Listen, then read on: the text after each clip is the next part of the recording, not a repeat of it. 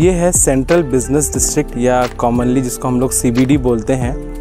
ये सारे जो कमर्शियल जितने, ये कमर्शियल कॉम्प्लेक्स है चारों और इस पर सारे कमर्शियल ऑफ़िस हैं और आईपी क्लब एंड रेस्टोरेंट जो हमने एक पिछले व्लॉग में भी देखा था, वो भी यहाँ पर है। टोटल चार बिल्डिंग है इसमें दो बिल्डिंग तो मेरे को ट्विन बिल्डिंग टाइप लगती है। ट्विन नहीं है एकदम बट जो दोनों आप देखेंगे, दोनों पेयर की बिल्डिंग्स ट्विंस जैसी लगेंगी। और ये काफ़ी दूर से दिखता है। अगर आप एयरपोर्ट के भी पास में हैं तो एयरपोर्ट के पास से भी ये दिखता है। तो इसी से आपको समझ में आ सकता है कि कितना स्पेस छोटा हुआ है। क्योंकि बिकॉज़ ओनली 23 परसेंट जो लैंड है, नया रायपुर का, उसमें ही residential as well as commercial buildings बन सकती हैं।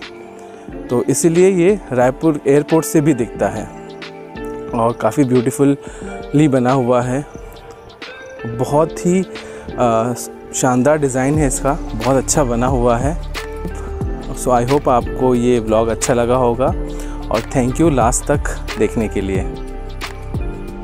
अगर आपको मेरे वीडियोस एंड ब्लॉग्स पसंद आते हैं तो please subscribe my channel and like and share my videos